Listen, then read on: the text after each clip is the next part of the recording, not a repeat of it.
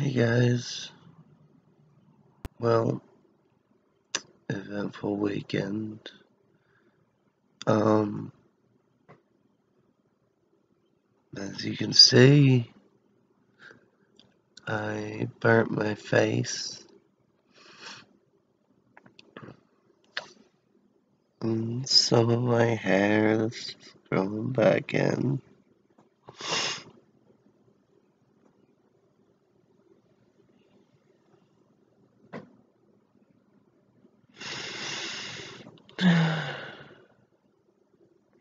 So,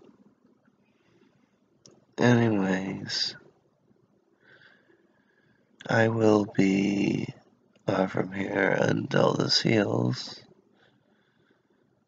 And right now, it's like 4 in the morning, and my face hurts too bad to sleep, so I'm just going to sit here. See you guys in a couple months if you're still there.